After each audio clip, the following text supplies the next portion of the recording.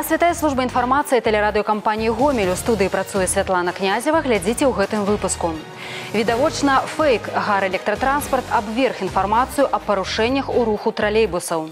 На дапамогу ўрачам прыходзяць іх калегі з ВНУ. У гомельскім медуніверсітэце адкрыўся цэнтр дыягностыкі лёгкіх. Унікальная школа ў лоеўскім раёне. У вёсцы пярэдзелка дзеці навучаюцца ў былым графскім палацы. А зараз аб гэтым і іншым больш падрабязна. Новы тыдзень і чарговы фейк. Сёння раніцай у тэлеграм-чатах з'явілася паведамленне, што ў адным з гомельскіх тралейбусных паркаў нібыта дыверсія. Транспарт выведзены са строю і не выйдзе на маршруты. Аўтар прапанаваў распаўсюдзіць навіну і лягальна спазніцца на працу. Як быццам гэта уважлівая прычына. Аднак на самой справе раніцай гамельчане, як звычайна, маглі скарыстацца гарадскімі троллейбусами. Скажите, пожалуйста, утром появилась информация в разных телеграм-чатах, что забастовка, что большая часть э, троллейбусов выведена из строя и не выходят они на линии, люди могут опоздать на работу. Как вы можете это прокомментировать? Это неправда. Предприятие работает в штатном режиме, весь подвижной состав был подготовлен и находится в технически исправном состоянии. А бывают э, какие-то экстренные вот ситуации, случаи, как вы из них выходите? Бывают случаи невыхода троллейбуса на линию в связи э, с болезнью водителей, но мы выходим из ситуации, привлекаем к работе людей в выходной день для подработки. И скажите, такие сообщения мешают работе предприятия, коллектива, вот такие внезапные? Ну, конечно, мешают. Они просто отвлекают время. Хто і з якой мэты размяшчае такія ілжывыя паведамленні ў інтэрнэце можна толькі здагадвацца. Мабыць, гэта спроба прыцягнуць увагу да правальнага закліку да забастоўкі. Затое дакладна вядома, што не варта давяраць такім сумнеўным крыніцам інфармацыі і паведамленням, у якіх няма канкрэтыкі, спасылак і дакладных фактаў, лічбаў імёнаў. У гомельскім дзяржаўным медыцынскім універсітэце адкрылі дыягнастычны цэнтр, дзе можна прайсці комплекснае абследаванне лёгкіх. Апрача таго супрацоўнікі ўстановы арганізавалі курсы для дзеючых медыкаў па лячэнні каронавірусу. Як вучоныя дапамагаюць практыкам, даведаліся нашы карэспандэнты. Супрацоўнікі медыцынскага універсітэта валодаюць не толькі тэорыяй. Многія з іх падчас пандэміі працуюць у бальніцах у якасці кансультантаў. Цяпер для дапамогі медустановам тут адкрылі дыягнастычны цэнтр. Кажуць, што жадаючых прайсці абследаванне шмат. Ультрагукавая дыягностыка і спіраметрыя даюць магчымасць выявіць наяўнасць пнеўманіі. У планах прыцягнення студэнтаў, якія будуць праводзіць заняткі па дыхальнай гімнастыцы, але перад гэтым іх абавязкова застрахуюць. Прытым, што працаваць у цэнтры можна будзе толькі на добраахвотнай аснове. Наш университет с самого начала э, возникновения коронавирусной инфекции активно э, вступил в помощь практическому здравоохранению и организованы и мобильные бригады наших профессорско-преподавательского состава, и волонтеры-студенты трудятся в практическом здравоохранении.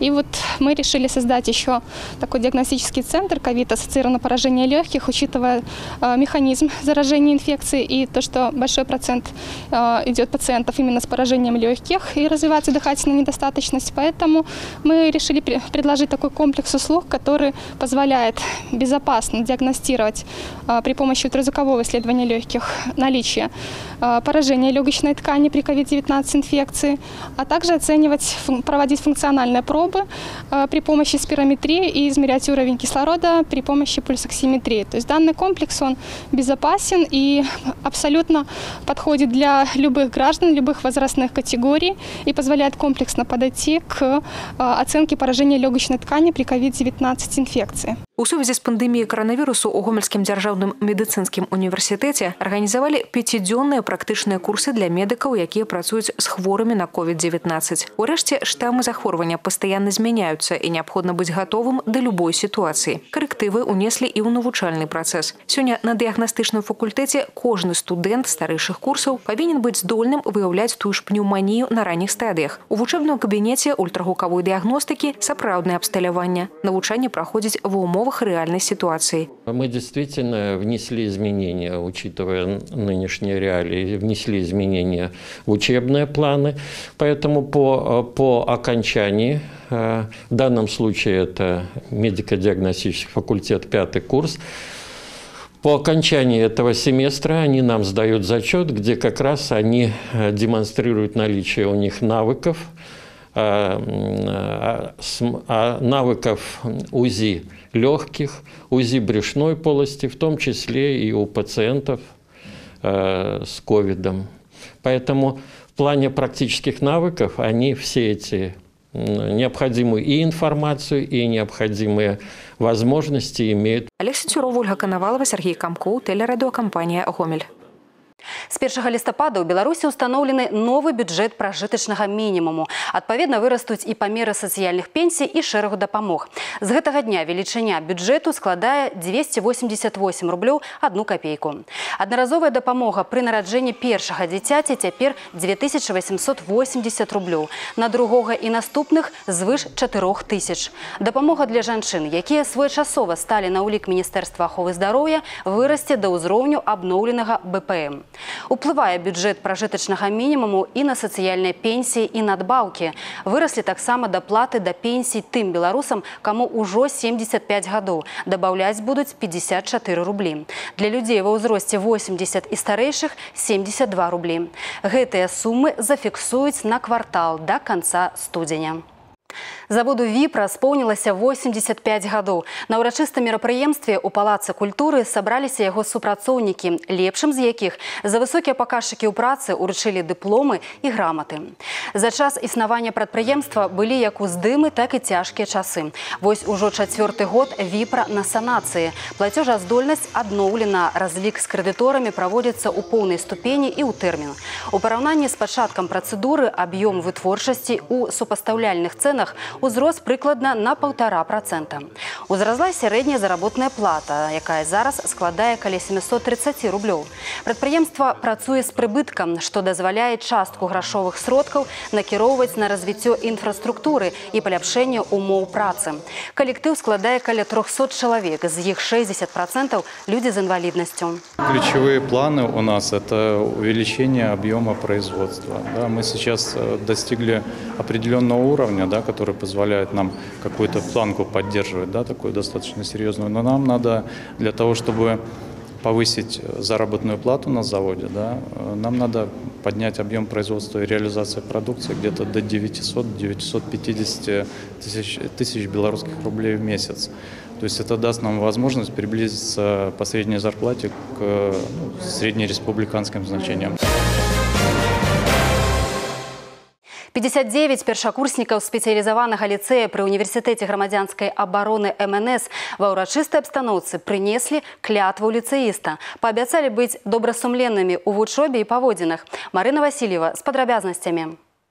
Рытуал прынясення клятвы навучэнцамі ў ліцэі МНС праходзіць ужо 18 раз. Павіншаваць першакурснікаў прыбылі міністр па надзвычайных сітуацыях Вадзім Сіняўскі, кіраўнікі абласнога ўпраўлення і універсітэта грамадзянскай абароны МНС уже достаточно осознанно, хотя еще в таком юном возрасте, приносят клятву на верность своим идеалам, на верность своей учебе в лицее МЧС. И, конечно же, такой элемент, с одной стороны, формальный, но с другой стороны, очень важный. Внутреннее побуждение честно выполнять свою работу. А у них работа сегодня учиться. Учиться добру, учиться правильному отношению к жизни, учиться заботиться о своих друзьях, товарищах, о своих родных, близких. Поэтому очень важный элемент в будущем становлении настоящих мужчин, в том числе настоящих спасателей Республики Беларусь. У ліцэі падлеткі праходзяць навучанне сёмага па 11 клас. Многія потым паступаюць у профільнай ВНУ і звязваюць жыццё з прафесіяй выратавальніка ці ваеннай службы. Пры гэтым ліцэй унікальны ў сваім родзе адукацыйны комплекс, які выконвае важную сацыяльную рэабілітацыйную функцыю. Амаль кожны трэці навучэнец сірата альбо падлетак, які застаўся без апекі бацькоў. Больш як палова дзеці з няпоўных, шматдзетных і малазабяспечаных сем'яў. Здесь очень интересно, весело. Разные секции есть. Э, учусь хорошо.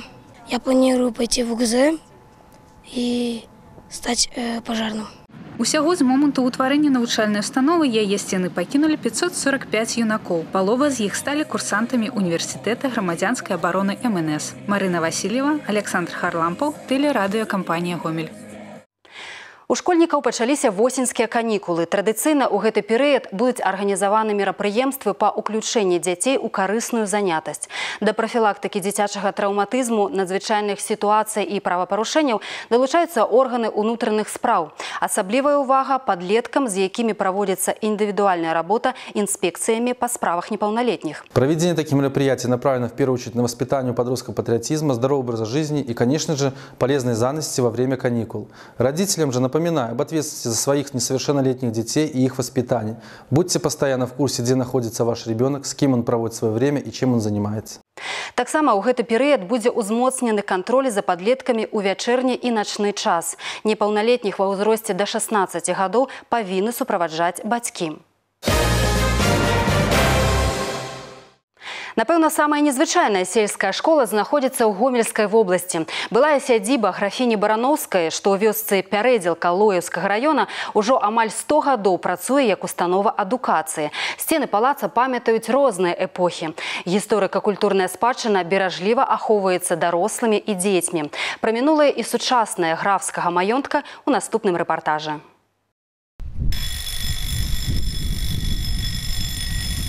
У 1810 годзе сядзібу заснаваў вядомы магнат Станіслаў Юдзіцкі. Дабудоўвалі яе памешчыкі рудзіеўскія, потым яны прадалі палац чайкоўскім. Ці былі гэта сваякі знакамітага рускага кампазітара, вучоныя спрачаюцца нават зараз. Але звязваюць гісторыю маёнтка менавіта з імем яго апошняй уладальніцы Кацярыны Барановскай.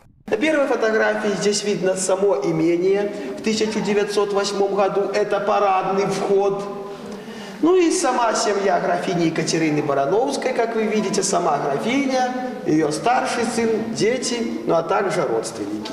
Ну и на второй репродукции можете наблюдать саму графиню Екатерину Барановскую с одной из своих дочерей. Па словах выкладчыка гісторыі Андрэя Коласа сваю славу графеня атрымала невыпадкова. Пры ёй маёнтак стаў адным з самых багатых у рэчаскім павеце. Она основала здесь ряд предприятий, что позволило обеспечить людям работу. Также здесь был разбит фруктовый сад. Ну и после Октябрьской революции она вынуждена была эмигрировать вместе со своими сыновьями сразу в Италию, затем в Канаду. В 1924 году была открыта сельская школа крестьянской молодежи имени Владимира Ильича Ленина Вялікая айчынная вайна адзіны этап у гісторыі школы, калі дзеці тут не навучаліся. Памяць пра самы складаны перыяд пільна захоўвае школьны музей.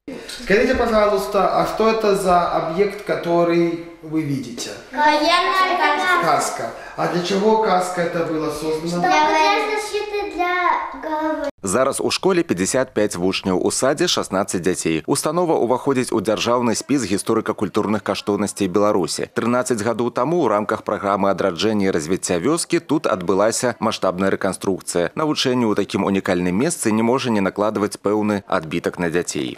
Сама история помогает э, детям учиться, хорошо учиться. Наши ученики являются призерами республиканских олимпиад и конкурсов.